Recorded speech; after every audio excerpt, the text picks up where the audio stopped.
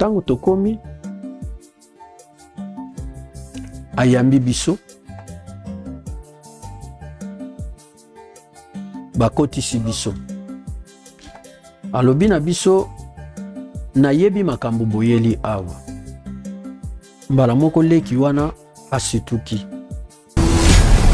azalaka na mwa panye na ye moko ya moke oyo moto nyonso soki aye koconsulte ye fozwa mbongo obwaka na kati ya panye wana me namoni kaka natye mbongo mbongo elimwe etikali kaka maticha alobi na ngai baesprit eyambi bino mpe ndimi bosenga na bino eza nini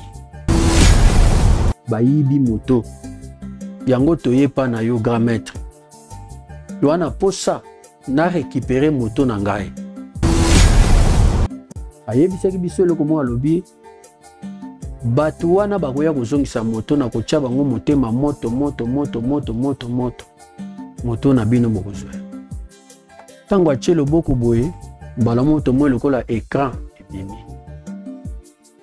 tomoni na bato bayibaki moto tomoni na moto moto eye kobima na kati ya nini na kati ya temple me kondisio eza moko alobi na ngai nalongola chemise na ngai nazalaki na chemise natiaki na polo na seka ndenge tolataka nazwaki chemise na nga alobi na nga longola chemise nazwi chemise na nga nalongoli yango abi na nga tya yango pembeni ya panier nazwi chemise na tye pembeni ya panier alobi boye nakosenga na yo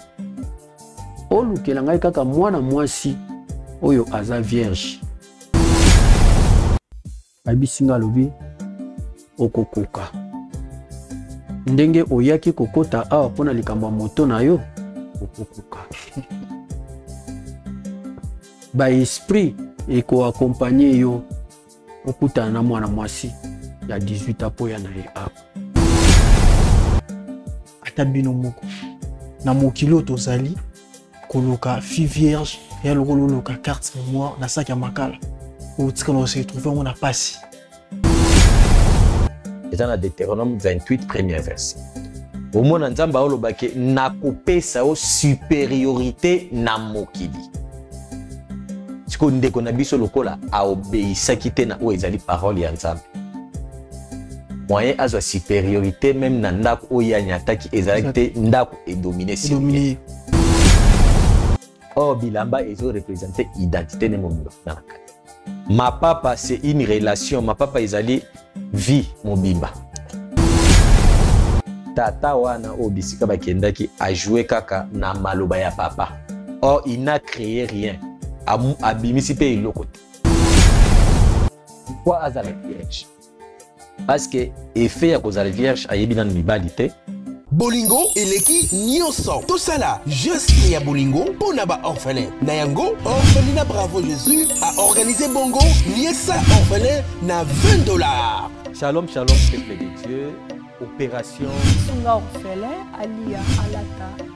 mpe asepela na fin de l'année oyo. Ndeko nyonso tu ya motema malamu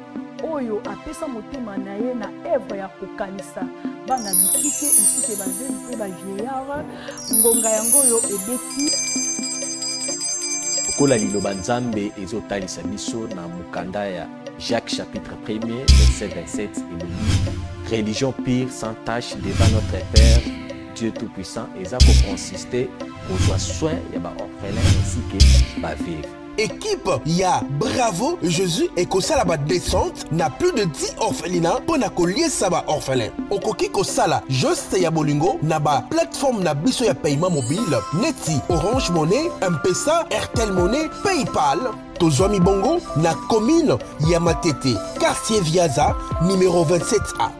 Pour tout contact, plus 243 89 18 89 886. Nzambe ya lola akozanga te kopambola yo pona motema malamu wana pesa yo.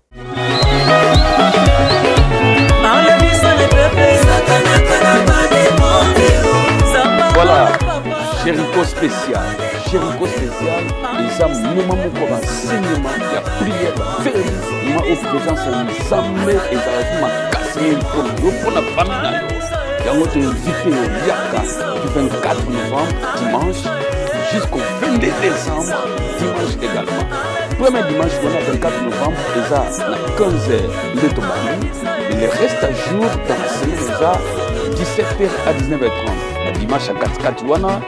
eza 8h30 jusqu'à 12h30 mais dimanche ya suka le 22 décembre ekozala clôture na 15h thème na biso eza en ces temps de la fin soyez puissant en parole et en œuvre yaka bineme na libota mobimba na veni baboro numero 6 bis na yolo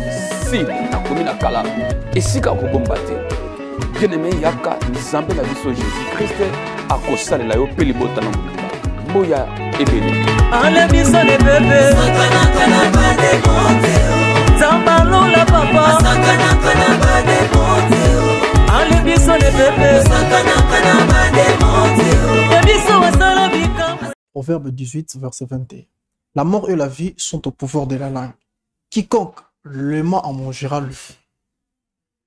vie mpe bomoi eza na maloba mbote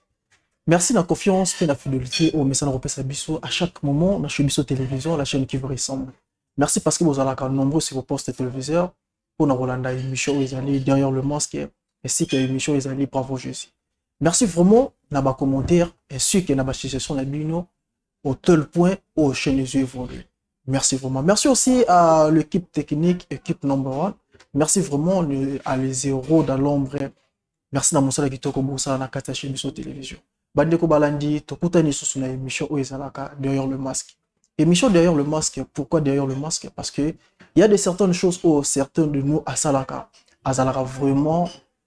na volonté te ya kosala yango na propre volonté na ye eza accident ya mosusu ekomelaki eza nervosité ya kanda nde moni acommettre tel ya arts wana alors na émission oyo ezalaka derrière le masque nde tosalaka effort ya kocouvrir motu na masque mais koyoka oyo eza message kopesa ye ainsi que conseil par rapport ya arts oyo acommettre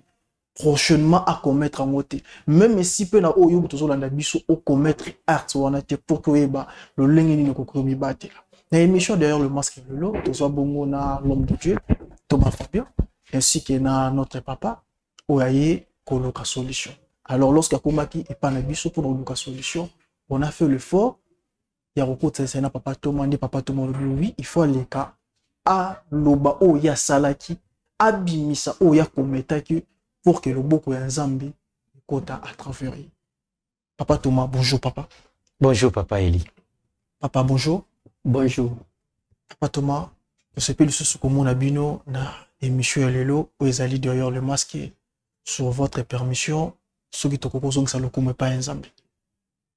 Sans problème, Papa Eli, to sambeli. Yahweh na bikamwa kolo Yesu to pesio merci pour na moment oyo. Tolingi ete molimo no ekamba biso Seigneur à travers oyo ekoleka na kati ya émission oyo. Que le Saint-Esprit oyo apesaka bwanya, apesaka mayele, apesaka vision a accompagner biso tout au long ya émission oyo. temoignage to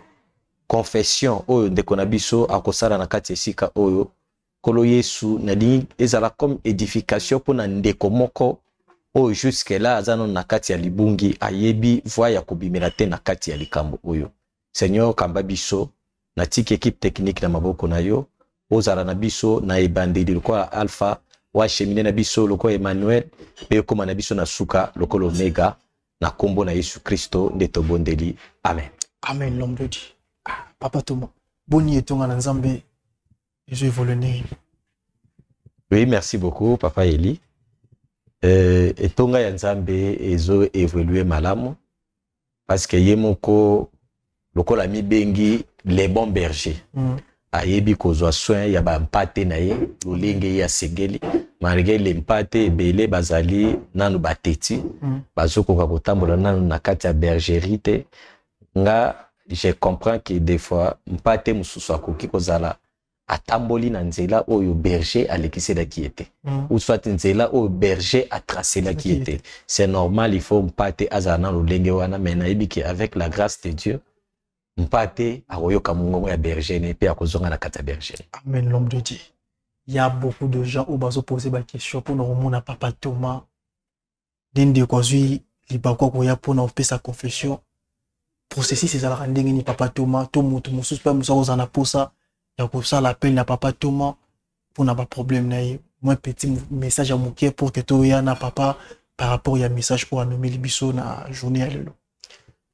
merci beaucoup papa eli mpo na question je crois likambo wana euh, nazokutana na makambo ebele à cause ya likambo olobi des fois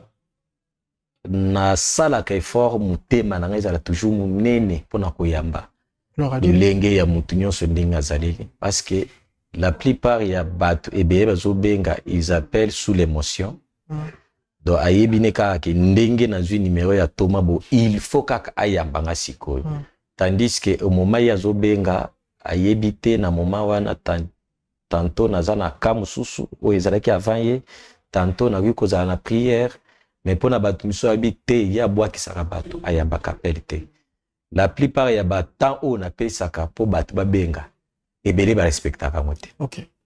voire même euh, napesa temps ke il faut kobenga nga avant midi kobanda de 9 heures ti au plus tard 12 heures mm. esili mais des fois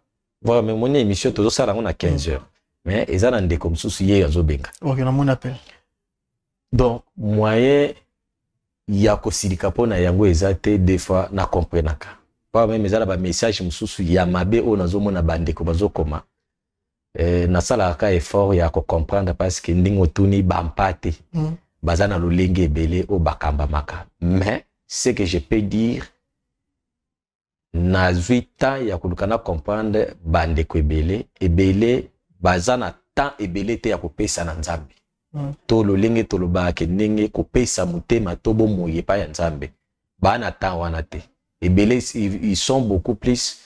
aza na problème aye asundoli yo mosala ya nzambe ye osala ni makambo ne mm. Parce que namona yango beaucoup plus, tu vois même les dimanches aux en plein culte. Na tongo mais moni ndeko ya France au bengo 9h. Mm. Mais au bosana ke na 9h wana okoki kozala na kati ya prière. Mona zo bengo na insistance après na suka mona komeli message oyambaka bato te ozaka lolendo boye mpo na nini nazobosanaki ero 9 heure eza jour ya repos oyo tokendaka kosanzola nzambe sikoyo neti na likambo wana omona mpe ndeko wana mpe aye abengi yo alobi papa eli ayambaka bato te ozomona mm. donc à chaque fois soki moto azoyebisa yo likambo yango zwa temps ya kotuna ye abengaka heure nini estce ezalaka sur rendez-vous ndenge napesaka to ayaka na ye lolenge mosusu omwana ndeko mosusu aobengo 2 heures du matin heure wana tanto kozala osisi kosambela il faut pema okay. mais ozomona olamuki na ntongo okuti tala bapele ebele na heure wana ata tolobi toza baesclave oui toza baesclave mais esclave de fois mpe azalaka na droit ya mwa repos ne fiske ya moke conformément ndenge place batyeli ye na mosala ezotambola merci beaucoup papa thomas fabien merci aussi na bandeko nyonso bobengaka mpe bokomataka papa toma apesi heure précisement ya kobenga ye alors il y avait un maman oyo atie même na commentaire na émission ya derrière le masque naoluka papa toma ngai likambo na ngai akotaka te kaka ya bato misusu depuis temps nasali asalaki autant si je me rappelle bien ezalaki six mois mobimba abengaka papa toma ayambaka ye te papa toma explique heure numero précisement oyo eza ya kobenga mpo nozala a contact na papa toma mpo na kopartage makambo na bino soit koluka moyen mosusu ya kosambela eza numero ya or, ya rtl plutôt oyo ezalaka na bon écran na bino oyo ezalaka plus 243 97 66 66 604 eza numero na kiol oyo eza permanent soki obengi numero wana okozwa papa shiki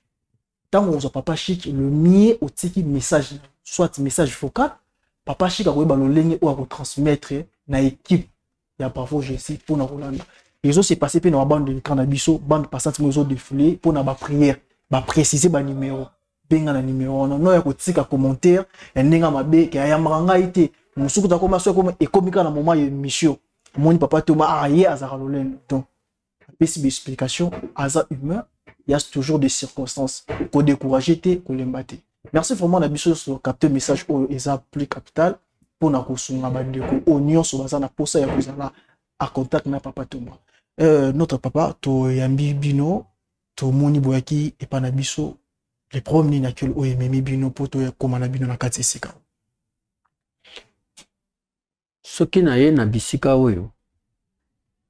namoni ke nasuki nazoyeba te nakosala nini nde naye liboso ya mosali na nzambe parceke eza na makambo oyo elukeli ngai makasi namikotisi na makambo moko oyo meme napansaki yango te na bomoi na ngai naza ndeko na bino na bisika na commune oyo navandi mpe na quartier oyo navandi naza na leki moko ya quartier leki yango azwa moto ya bato na contrat mpe asalaka mosala kaka ndenge ezalaka aza mpe leki oyo tosololaka ne mpe malamu azalaka mpe respect envers ngai bandeko eye koarrive leki wana abimi kaka ndenge bakenda kosala mosala na bango ya ko, kobula ntango azozonga na pokwa d'habitude azalaka ntango azozonga azongaka na moto mpo azwa moto ya bato na crédit ke aversaka mbongo na semaine me moto ezalaka epa na ye soki asilisi crédit wana arécupere moto namoni nde leki wana azozonga natuni ah bongo ndenge nini lelo ozongi oye na moto te nabisinga bivie na miniti oyo bayibi nga moto na bi ah koma yo moto oza boye bayibi yo moto ndenge nini babeti yo te badroge yo mpe te bilamba mpe pasuki te eloko moko te me kaka ndenge obimaki na bilamba wana ozozonga no mpe normal ayebisi ngai abi ah vie na ngai façon makambo yango esalameli ngai na comprendre te soki ezalaki lolenge nini bato wana bakoki kozwa nga moto ka boye en pleine journée natuni ye bato yango omemai bango wapi abisi nga alobi na kote nazalaki na limete namoni ka bato mo bazwi ngai express bayebisi ngai tozokende na bango nakotika bango na nsele me na comprendre mpe te toleki aéroport me tokomi kaka na tronso wana tozokende subitement naye kose retrouve ke bayebisi ngai no natelema keke mpo basomba eloko le temps natelemi vi mpe ezalaki deja mwa molili ebandaki kopusana nde namoni moto mosusu aye amati na moto ademare moto mpo ngai nakendaki kosuba nabisi aleki ah, osali erreur osali erreur siko moto ya bato okosuka ndenge nini leki wana azongisanga biyaya nayebi te soki nakobandela ndenge nini eza kaka semaine ya liboso kaka oyo azwi moto na kredi moto ya sika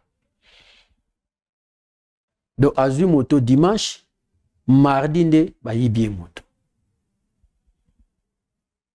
bon natikaki mpe leki yango ndenge wana nakendeki na nga na ndako nake mpe nalali nabeteli mpe madame na nga lisolo tolali na biso tobi ah, mawa me na butu nakokaki koreflechi makasi ngabe ah, mwana oyo azalaka respect tokoki kotika ye na likambo ya boye te fo naluka nasala ata quelque chose ah.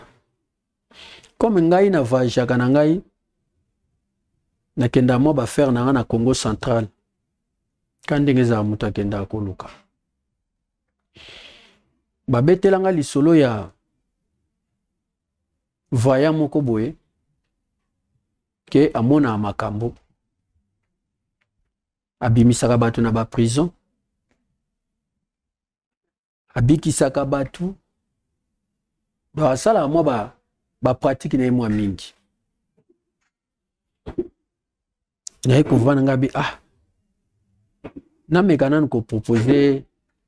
leki oyo nzela oyo ntango mosusu leki oyo akoki kozwa eyano na ye nabetelaki leki oyo lisolo madame na ngai mpe ayebaki te motu mpe ayebi te kaka ngai na leki wana nabeteli ye lisolo abi na ngai abi ah vie lokola oza vie na ngai quartier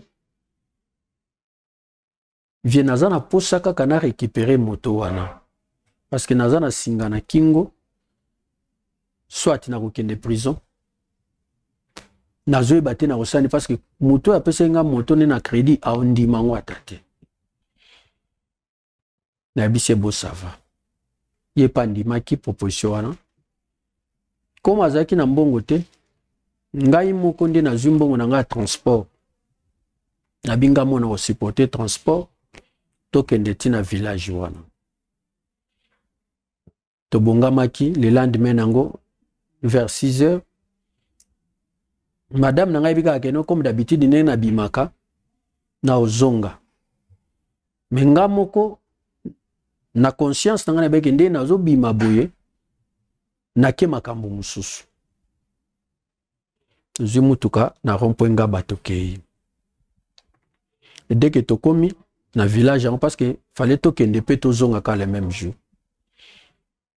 toye kokóma na village wana moyen atanga nkombo eza te tokomi tose renseigner nkombo na ye bayebisi biso nkombo na ye toye okoma ti kuna ntango tokomi ayambi biso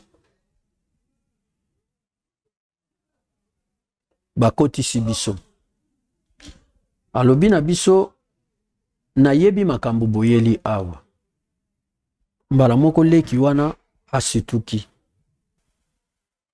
nga mpe nasutuki na bi ah. ayebi makambo biso toyeli alobi bon bozwa quelque chose botya yango na panier azalaka na mwa panier na ye moko ya moke oyo moto nyonso soki aye koconsulte efo zwa mbongo obwaka na kati ya panier wana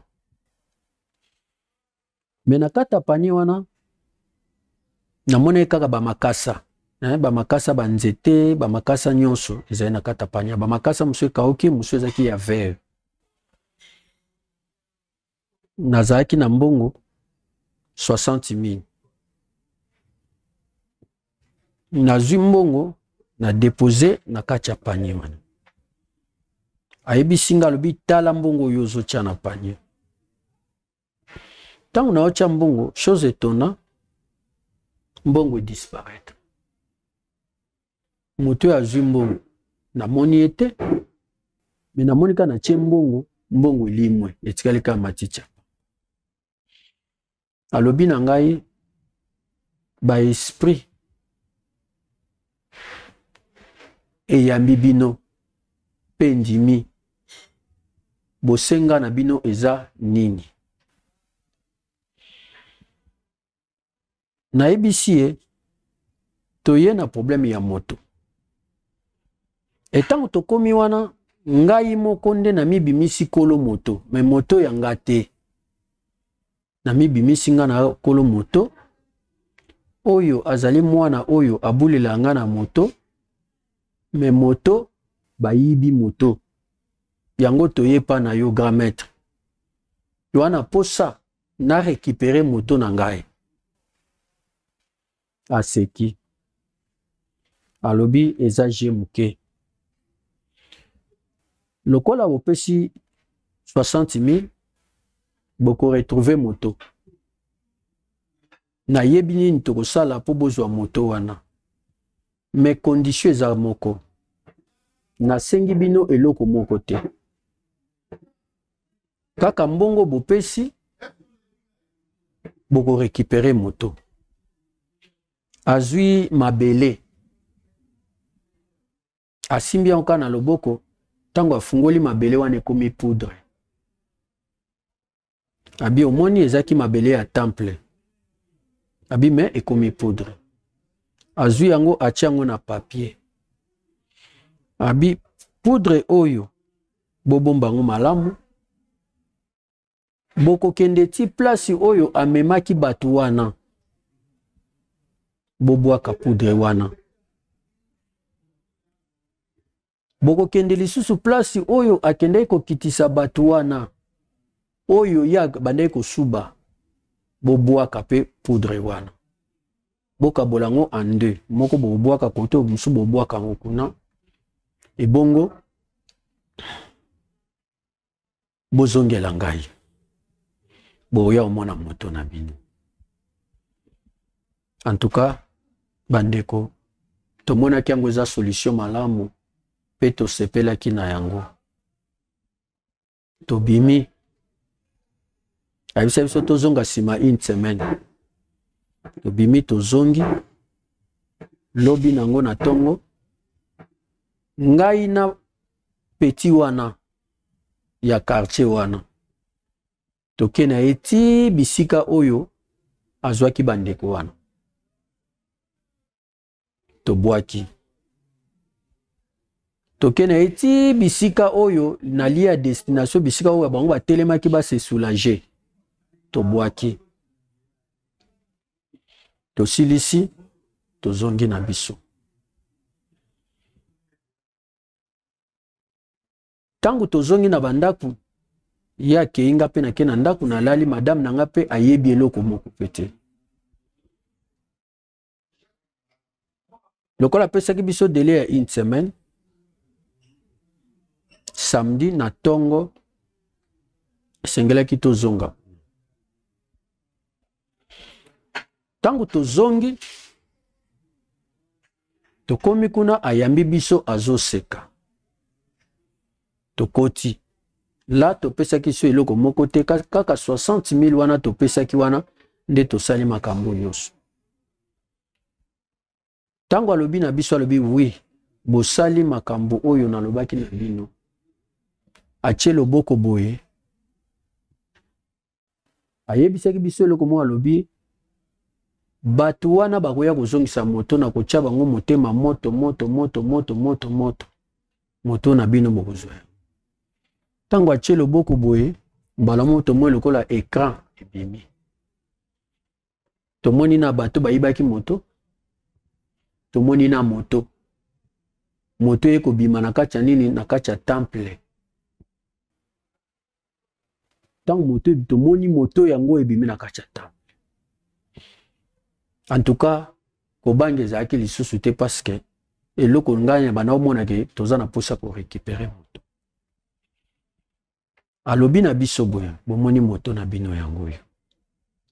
etikali eloko moko oyo esengeli bosala alobi na ngai nalongola chemise na ngai nazalaki na chemise natiaki na polo na seka ndenge tolataka nazwaki chemise na nga alobi na nga longola chemise nazwi chemise na nga nalongoli yango abi na nga tya yango pembeni ya panier nazwi chemise na tie pembeni ya panier Alobi na ngai, zwa lisusu mapapa na yo. Naseka mapapa oyo nayaki na yango, alobi kaka yango. Nazwi mapapa wana, natie wana mopati. Alobi, biloko oyo mibale ezotikala awa. Condition oyo ngai nakopesa bino, soki oremplir condition wana, nde okoya kozwa chemise na yo okoya kozwa mpe mapapa na yo parceke yo nde ozali kolo moto mwana wana bapesaki ye condition te alobi boye nakosenga na yo olukela ngai kaka mwana mwasi oyo aza vierge ayebi mibali te mpe oyo aza na age ya 18 ans boya na ye awa apres soki boye na ye nde okoretrouve moto nayebisi ye grand maître mwana mwasi aza na age ya 18 ans nakoyeba ndenge nini mpo nazwa ye naya na ye awa condition wana eza condition moko ezali pasi na kokoka condition yo te soki eza ata moto aza deya dépasse ya 18 ans nakoluka moyen mosusu nakoya na ye me condition wana nakoka te ayebisi nga alobi okokoka ndenge oyaki kokota awa mpo na likambo ya moto na yo okokoka ba esprit eko accompagner yo okutana na mwana mwasi ya 18 apo ya na ye awa bandeko sho ezaki te nazondima na munoko me au fond na nga conscience na nga ezoreproche nga ke likambo oyo okoka kosala yango te me nakosala koboni namikotisi na likambo oyo nayebelaki yango na motu na makolo te nde tobimi lipapa etikali chemise etikali nakobana kozonga na ndako na ngai mpo nayebisa mwasi na ngai lolenge nini nakozonga na lipapa te nakozonga na chemise te tobimi tozwi transport tozongi ntango tozongi na longo ebanda congo central mosika kota bifrication ya kinganga kokati ya fleuve na ngambo nakomi na ndako madame aotala ngai nazoya lipapa eza te chemise eza te atuni nga papa obimaki boye tozozonga boye nde nayebisi te mama ah tokutani na bakuluna bakuluna balandi biso bagrese biso do na chemise kote nabwakaki yango na lipapa nayebi mpe te me kumisa kaka nzambe mpo omoni nga naza na bomoi me na kati na nga nazoyeba ke nauti komikotisa na makambo na okoka te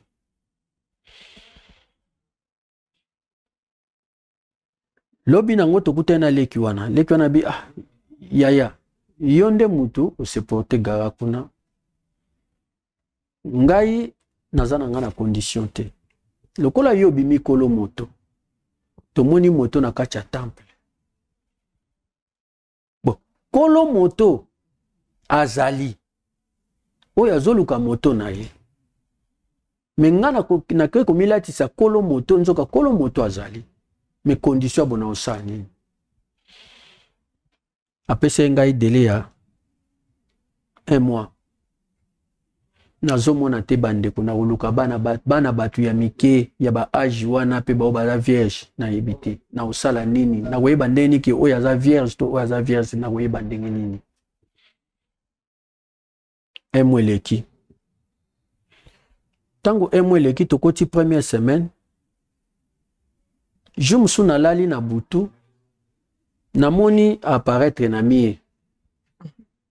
ya chambre namona kaka apparition makambo toyokanaki na yo orespecte yango te sala noki oyela biso elenge mwasi ya age ya 18 ans wana soki okoya na ye te en tout cas yo nde moto okosibi ba conséquence nasutuka madame auti na ngai nini namoni ozoloba nayebisi te ezali kaka ndoto papa ndoto yo tolalaka no mikolo nyonso olobaka jamais makambo ozoloba na butu ngai te mama eza kaka ndoto nabombeli mwasi na ngai susi ebandi mpe kolia ngai nakomi koreflechi ndenge nini nakoki kosala mpo nabima na likambo oyo soki napesi te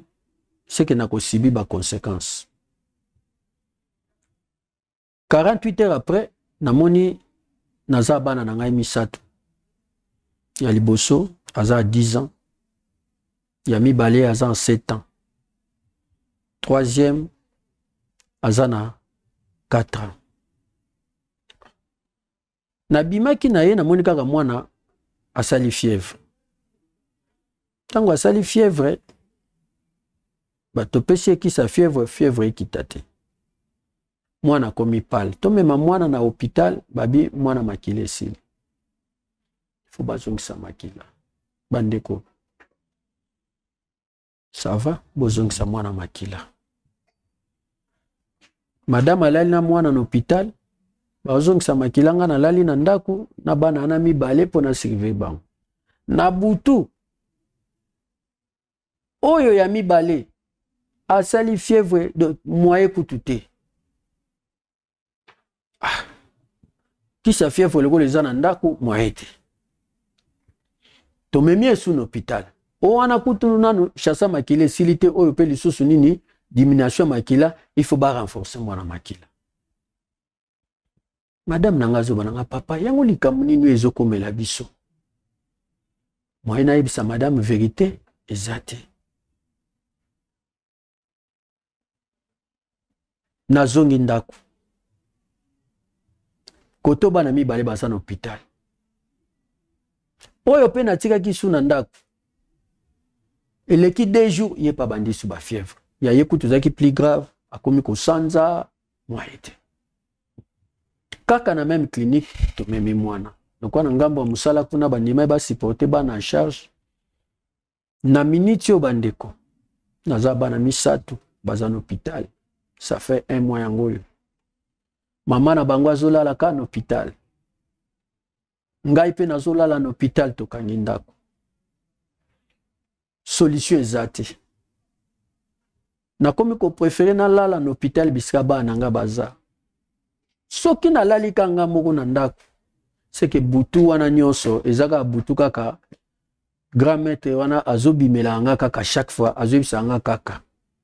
soki okopesa biso makambo na biso te bazolakisa nga babi tala bilamba na yo tala lipapa yo otiki swati bana oyo misato bakokende soit tolukela biso elenge mwasi wana ya 18 ans donc ndenge naza boye namoni ke nasuki na perdre bana na ngai nakoyebisa mama na bango nini nakoyebisa fami na ngai nini nakoyebisa fami ya mwasi na ngai nini ke ngai na sakrifie bana na ngai akoza likambo ezangaki na motu na makolo nayebaki te likolo ya moto likolo ya moto likolo ya moto sikoyo na ngai kolo moto te me naosakrifie bana to vi na ngai me kolo moto akozwa moto na ye peti wana mpe akozonga kobula na ye nani aperdre bandeko eza mpasi nazokoka kolala te doso nakangi kaka misu nazomona bato baomenase ngai soki nakangi kaka misu namona bato baomenase ngai soki naotambola na nzela nazomonaka bato baomenase nga bato baolanda nga bazoloba na nga makambo donki ndenge naza boye namonaki ke nasuki nayebi te nayoluka mosala ya nzambe mais puiske bazwela nga solution na situation na miniti oyo bana baza na hôpital mais madame na nga mpe ayebi na te eloko te pauvre mwasi ya bato azonyokwama na hôpital seke eloko ememi bino na place oyo eza akoza makambo oyo toyebisa biso makambo oyo kaka makambo oyo nde moto esali ke okoma ti nakoma nakoma d'accord papa excuse nga d'abord est ce que bosambela bon kosambela mpenza en tout cas nazalaka na eglize moko te ke oyo nasambelaka ezalaka kaka ndenge tozalaka na biso olamuki na ntongo osambeli okaa moke obimi na yo me nasambelaka mpenza te okay. comment ça fait ti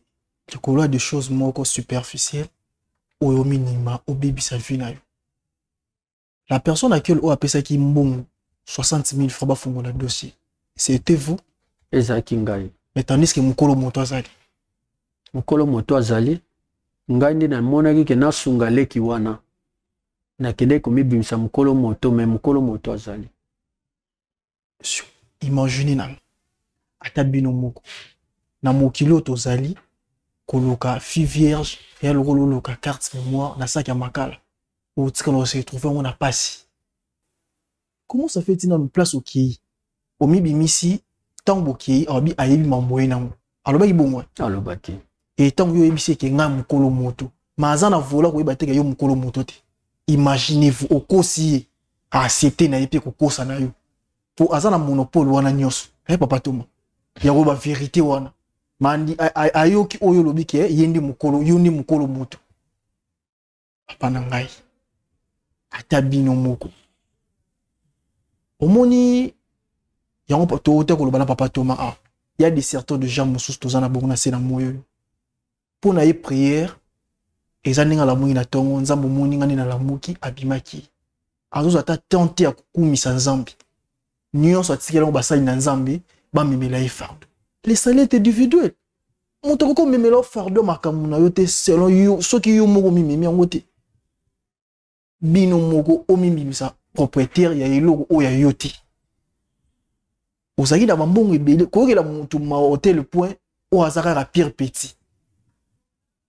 soki moto ebungi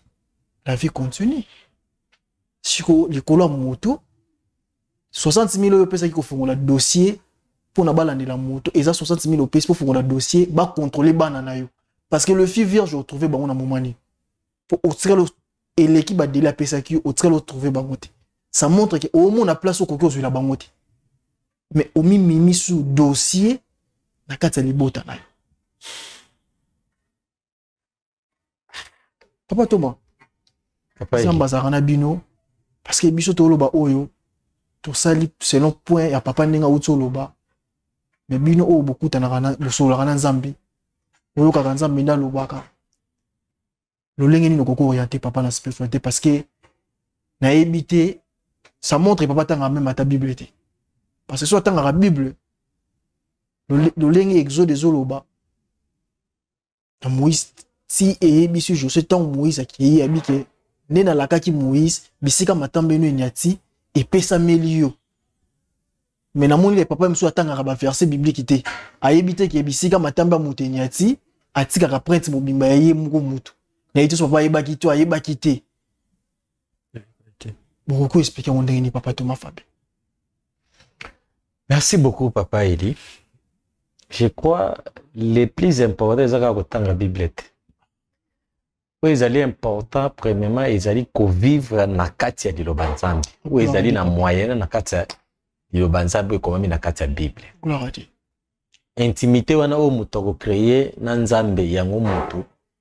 ekosala ke moto azala sauve na kati ya mokili oyo toza na se epuis azala parmi les sélectionne oyo bakoherite oyo ezali royaume des cieux nayoki likambo oyo papa akutani nango nalandi ye malamu ebandeli ti suka donc en général likambo ekomeli papa eza ke papa il était beaucoup plus recherché d'accord na kati ya mokili ya molili mais moyen ya ke aya kokota na kati ezalaki nde te nde ekotisi nanu papa na chemin wana ya ke asombi likambo oyo eza ya ye te na kati ya kosomba likambo eza ya ye te na bilembo ya le père ya mensonge zabolo akotisi mwa kokosa mpe na kati moni place baemprunte ebandi d'accord lombudi nde omoni oyo galate 5 je crois à partir ya 16 ezo explike yango les œuvres de la chair mm. omona bazo énumere na bamensonge banani biloko wana nyonso ce sont des œuvres oyo zabolo agidaka nango na kati ya mais omonaka ekal na meme ye moko galate wana ye moko omonaka à partir na 22e verset azo expliquer oyo tobengi les fruits de l'esprit yango nde soki ekombataka les œuvres de la chair alors nzambe ainspiraki yo verset moko wana otangi eza josue chapitre 1er troisième verset oyo ezoloba ke tout lieu foulera la plante de vos pieds mm. je vous donnerai en possession amen bato mosusu je crois bakoloba bi me ye akenda kokɔta na ndako ya nganga pourkui batangi verse oyo or eza parmi les promesses oyo nzambe apesi na peuple oyo bandimeli ye comme soubassement nous pouvons prendre Deutéronome 28 mm. premier verset azo expliquer parmi les lois les prescriptions oyo mutu soki aobéir na yango nde akozwa supériorité na kati ya mokili eza na Deutéronome 28 premier verset omona nzambe aolobaki nakopesa yo supériorité na mokili sikoyo ndeko na biso lokola aobeisaki te na oyo ezali parole ya nzambe moyen azwa supériorité meme na ndako oyo anyataki ezalaki te ndako edomine sirye lokola ezalaki ndako ya molili donc comme gage azwi meme oyo ezali bomengo na ye atiki yango kuna comme gage donc bobombela une partie ya vie na nga bowomba yango nazwa na lipapa na, na bilamba natika or bilamba ezo represente identite ne mobimba kuna na kati mapapa c'est une relation mapapa ezali vie mobimba yango ozomona ke atiki biloko misato mm. et puis il y a aussi ces trois enfants bazobela d'accord d'accord l'homme de Dieu Il y a aussi ces trois enfants bazo bela. Mm. Mais na kati ya nyonso wana ya la première chose oyo atikaki mbongo. Mbongo. Yango nde ezo senga kuna na kati. Mais ce n'est pas l'argent mutu aza nango bosenga. Oyo eza nango bosenga ezali abima nde na kati ya bisika akenda ekota. Parce que effet ya kotika lipapa kobima makolo pamba otiki na ba empreinte na kati ya ndako. Mm. Au lieu que o domine ndenge Josué ezoloba ke o domine likolo ya bisika nyonso onyati siko esika wana edomine likolo na yo parce qu'il n'y avait pas un Dieu oyo akoki ko protéger conformément par rapport ya connexion spirituelle ozali nango vis-à-vis ya koyamba Yesu comme mokonzi mpe mobikisi papa comme il n'avait pas Dieu kati na ye moyen nzambe abundele na esika wana eza te Or, effet ya koyamba Yesu comme mokonzi mpe mobikisi, automatiquement le cher Saint-Esprit nde moto akojoue sikoyo role ya monene. Mm. Akoyebisa ke le chemin ozo emprunter eza le bon chemin te. Oza le bon chemin te. Ndenge omoni Jérémie ezoloba ke invoque moi je te répondrai. je te montrerai les choses cachées que tu ne connais pas okay. nde bisika oyo papa alingaki premièrement na atuna na nzambe seigneur nzela na nina kende eza nzela nini mm. nde parla nzambe alingaki biseke moni nzela ozokende eza nzela ya mokosi so olandi mpe omona ke tata wana oyo bisika bakendaki ajoue kaka na maloba ya papa or il n'a créé rien abimisi mpe eloko te parce que tout ce qui se passe là-bas balakisi ye lokola video mm. mais ce n'est pas la réalité oh là là le diable n'a pas le pouvoir ya kocréer il a le pouvoir ya kocopier d'accord balakisi kaka image ya bato moko boye na moto na soi disant moto mais na bomoto boye basimbi yango te mm. parce que aza na accès wana te siko bazolinga balatisa siko papa alata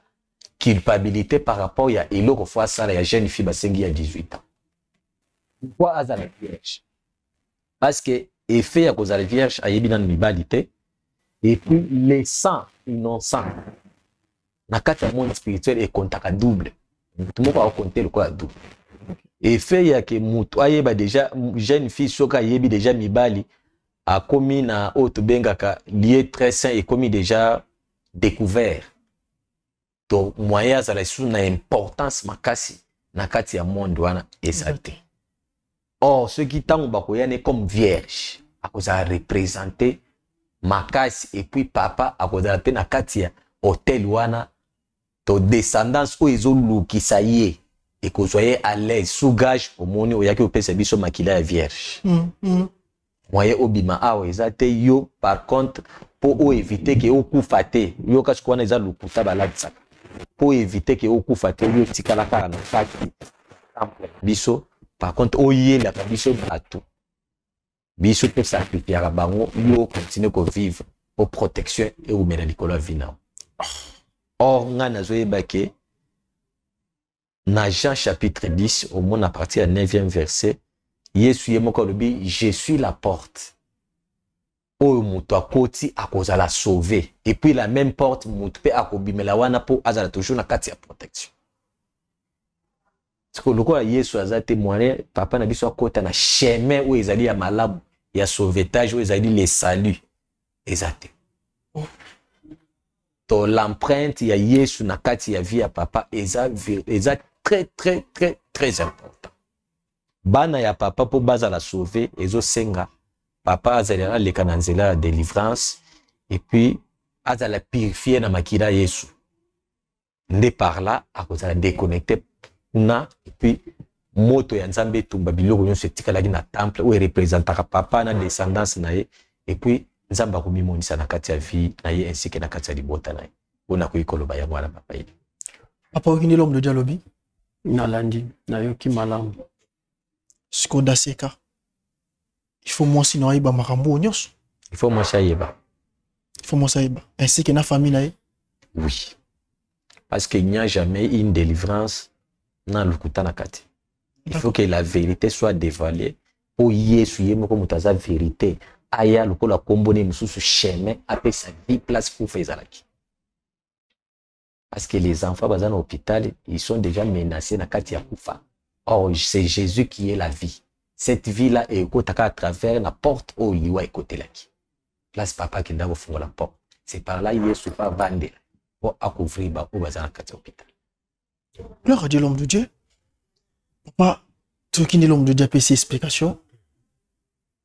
oyo ekomema biso ainsi que kokende kokutana na famille e komettre vérité to transparence par rapport ya makambo oyo e l'homme de dieu ye moko nda koyeba lolenge oyo nzambe akoko oriente omoni ke nyonso oyo okendeki komilukela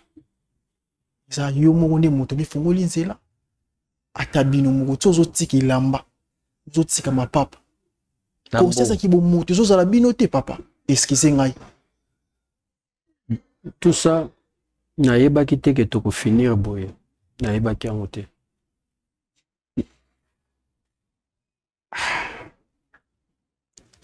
ndeko nyonso ozwi libaku otala biso na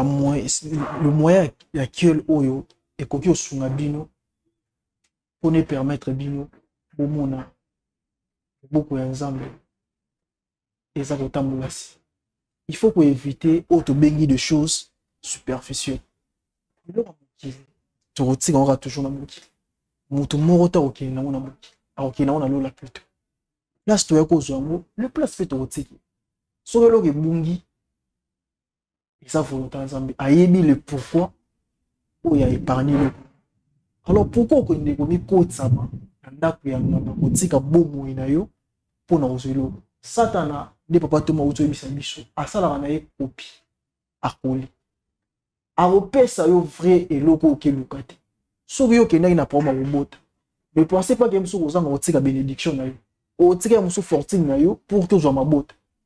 ntango okozwa mabota pour ke bana wana bakola boza na posa fortune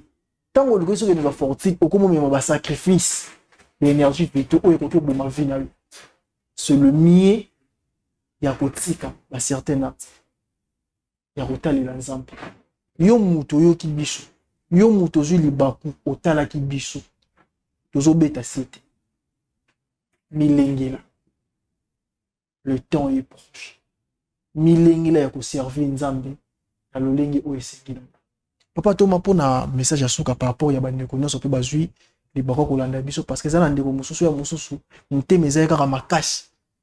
abungisi ye mosusu telefone portable yaka nde biso toza na oyo yo ma azondima akende kokota na ndako ya nganga message clé to message capital nini okoki kopesa na bandeko wana message clé ezali to racheter temps car mikolo ekomi mabe maître ya mokili akomi près ya koya esengeli moto nyonso amilengele to éviter nzela ya mabe nzela nyonso tokendaka eza ya malamu te mpe epesa vi te le seul chemin oyo ekopesa bomoi eza nzela ya yesu kristo oyoki mitema esuki nyonso ya bomoi na yo ekomi sans forme pesa encore lisu yesu confiance akopesa orientation na vie na yo epuis vie na yo ekoma vie ya esengo oyo nakoki koloba yango wana papa eli merci beaucoup merci na bandeko nyonso balandaki biso na émission lelo d'ailleurs le masque mpo na lelo totie point soki nzambe azongi te tokoyeba ndenge ya koévolue mais on est sûr et certain papa ozwa lobiko na ye parce que ayaki aza mwa te papa toma nde apesa orientation nde mpe nzambe akokide ye mpo ke mpona kozwa solution kimia etikala na mabota na bino soki nzambe azongi te tokomonana babaye